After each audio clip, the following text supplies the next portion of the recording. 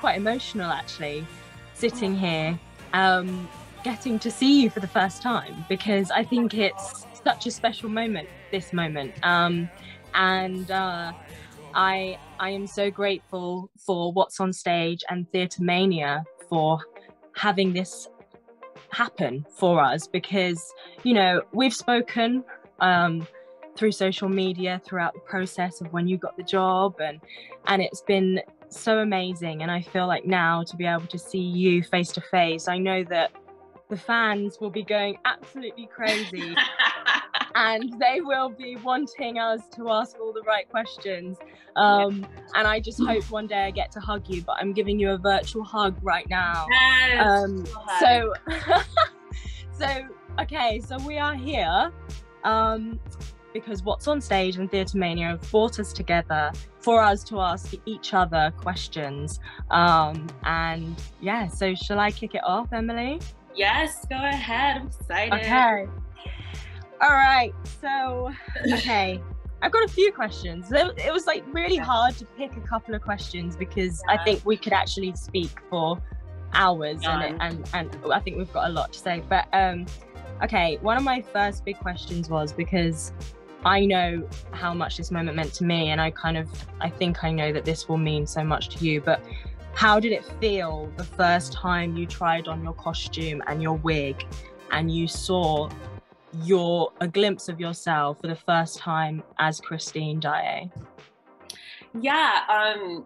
So the first time I had the entire look together was my put in, like two days before I went on, and um, it was it was it was really emotional. I I well, first of all, I was like, I have to sing in this corset, and I have to dance in this corset, and No, no joke. in this corset and run around and have all these emotions and all this stuff. Um, so I was like, okay, I need to get my like physical body like together. Um, but then it was just like, I mean, it's such an iconic look. Um, the red and green and the gold. I also think it looks so good on our skin. Um, and I just, I, I just felt really just like happy and excited and um, that whole day especially was like just crazy and it was just like kind of nice to have a moment before i went on um, in my dressing room just to be like you got this girl and like um, just like enjoy that before Yeah. the craziness ensued Of So, course. Yeah, I know. I, I, I can relate. It's such an emotional moment because I think the build up for anyone auditioning for a role, a dream role, and then getting it, and then seeing yourself come to life in that moment as the character is so special. But I think for us, especially, the journeys we've gone on to get to this moment and to be representing as the first Black women in the West End and Broadway in this role. I think it's it was very emotional to kind of see myself in that position and go, wow, girl, you've you've you've done it, you know, and how special is this? And now let's go out there and do it for all the other little brown and black girls out there who are watching us and witnessing this and going, you know what, I can do that too. And that was very special. Um, and it and it's quite emotional thinking about it. it is emotional thinking about it Say you love me. You know I do. Go on, you go. Ask me a question. Okay, okay. So my first question for you is, what was it? Um, um, what was the most challenging and also the most rewarding thing um, during the rehearsal process for Phantom? Oh A gosh. double I whammy think for you. pardon. A double whammy for you. A W one. Okay. Um, I I think you know there were so many challenges coming into getting the role and then starting rehearsals. I think you know getting the role was one thing. Then I had to prove why I'd got the role. And there was a lot of eyes looking to make sure, you know, okay, why in 34 years has there never been a black woman to play this role? And now that's happened. And I felt an immense pressure to deliver and to be a beacon of hope for so many other women who I know want to play this role. Um, so I felt a lot of I guess the challenges were were coming into the rehearsal process and asking the questions, making sure that I was making a change for a positive way so that representation in that role was always going to happen. And that that that came down to things like we spoke about this before uh, the wigs you know the fact that um, i wanted to really celebrate black afro textured hair. And how do we do that? And how do we do it in the style of the show in the period but also show that black afro textured hair is beautiful and it can be worn in this show. And I want to represent my own hair and be authentically me as Christine.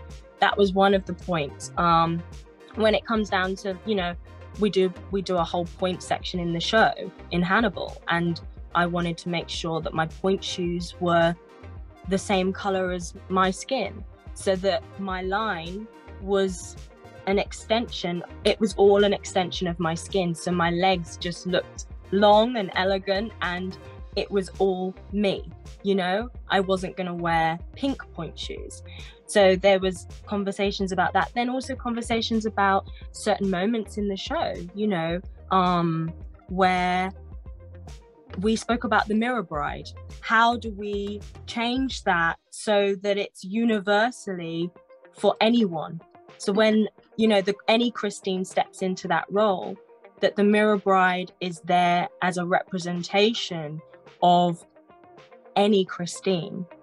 And these are all conversations that were very challenging and hard to have at times because they were questioning a lot about the show that's been happening for 34 years and how we're going to make these changes and how we're going to then move forward so that everyone can see this accessibility for the show and that no one's excluded and everyone can feel that they could be a part of this show. I now do the full bridge cross.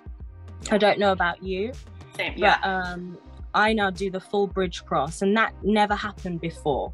It was always other women playing Christine to create the illusion that she was everywhere. But I said, okay, well, I need I need to play this. I need to play that journey because if I am one of the only black women in the show, I can't have anyone else do that role and play that track other than me. And I guess the reward was the response that it got, you know, from people who came and watched the show around the world, the messages. When people actually saw that those those things happen, especially the wig, you know, there was such an outpouring about that, and you know, so many women going, "I've, I see my hair as beautiful now," and that's powerful.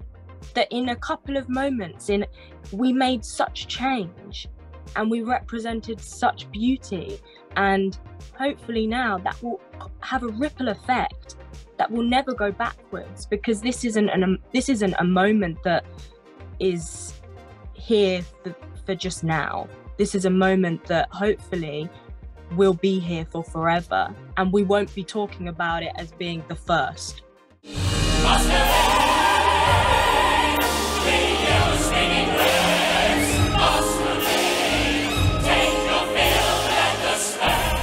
I remember seeing I think it was your reaction video to seeing you in your Christine dress for the Mhm. first time. It was like that video, like that press video. Yeah. And I was like in the middle of audition callbacks for the role. And my, I remember my friend sent it to me and she was like, girl, like, this is gonna be you.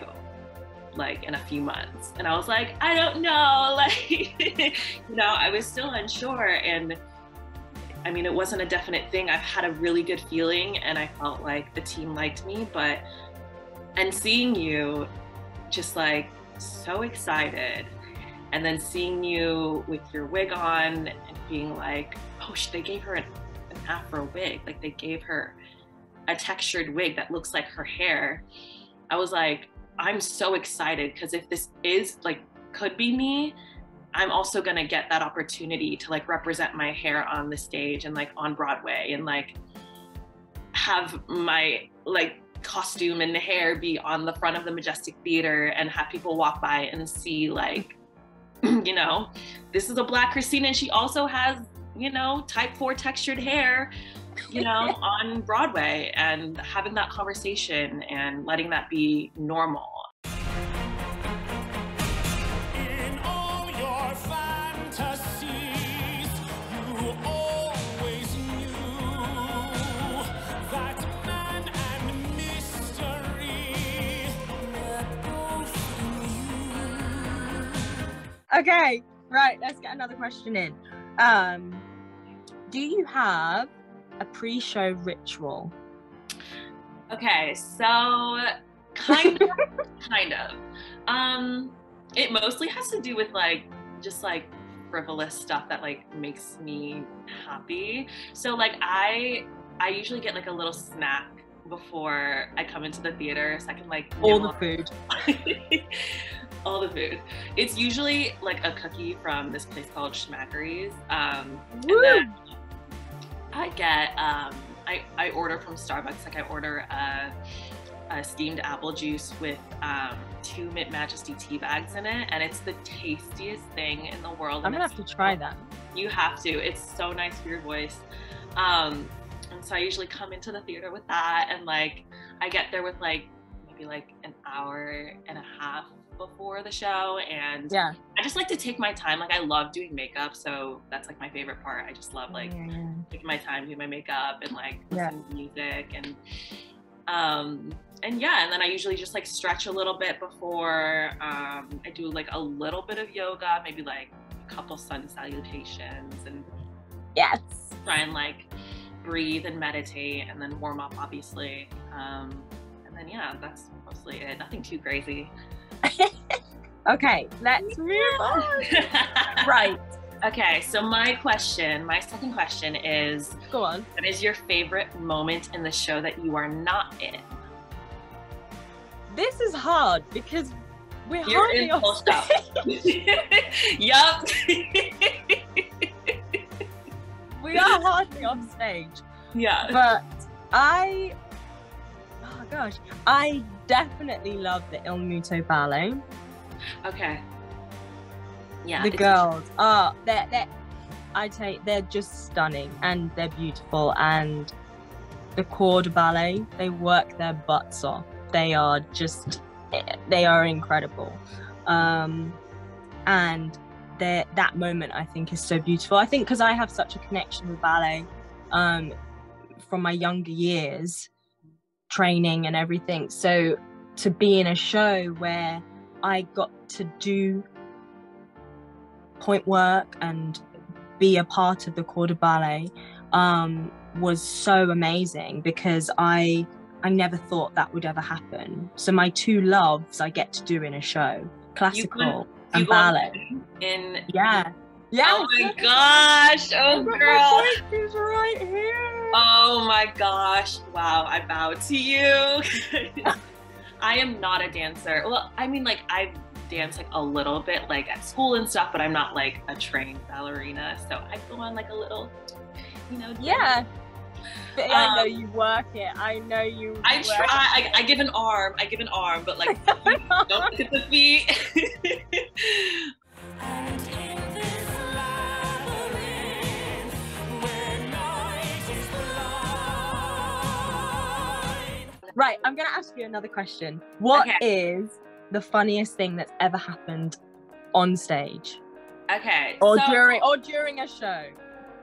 During like during this time, yeah. So what's the funniest thing that's happened to you on stage? So there was one moment during music of the night or after music of the night during the um the morning after scene when so i'm running like around and he's chasing me and i'm on one side of the stage next to the organ and then i'm supposed to run across the stage and he's supposed to like i'm supposed to trip and fall right and as i'm running across the stage my negligee gets caught on the organ and it's literally like toilet paper as i'm running across and it's like That's happened to me as well. really Yeah, It- on the portfolio.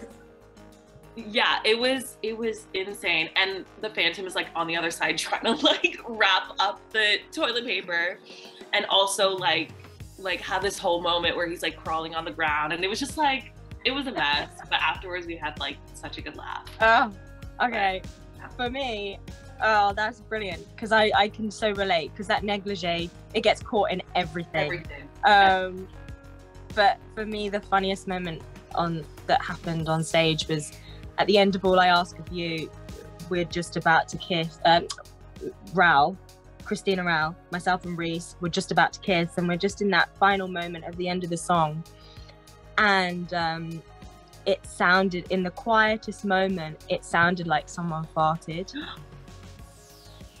like backstage. Oh backstage. And and it echoed so loudly onto stage. And me and Rhys just looked at each other like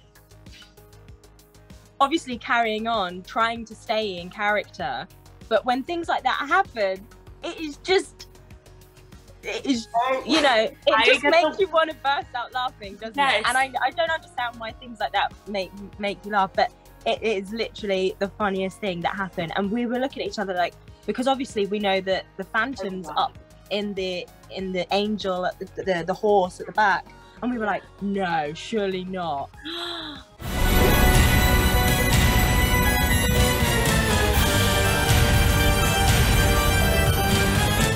oh this has been so gorgeous. I I, I could actually talk to you for forever and i think no. well, let's let's definitely catch up again after this Yeah. you know um yeah i just it's this is so special and I I really hope we get to meet in person. Um i am i'm coming to new york actually next august. So well no well not next august it'll be this august this August, because yeah i'm thinking we're still you know but no th- this august. So um yeah we'll have to try and get together. We really will. And uh i i just i'm so proud of you. Um and i'm so happy for you. And i'm so glad you are loving this moment. You deserve it all. And just keep shining your brightest light because you're beautiful in the role. And i'm just so excited for you and this moment. And yeah it's it's amazing Thank you, Um. Oh, I look uh, up you so much, and I, I thank you so much for for like talking to me, and like I hope we get to see each other soon. Always. Um, thank you also to TheaterMania and Once yes for having thank us, you for making this thank you so much for making this happen yeah Yes, It's course. been so special. I absolutely adore you. And um, yeah, I'll see you soon. I'll see you soon. Bye. Bye, honey.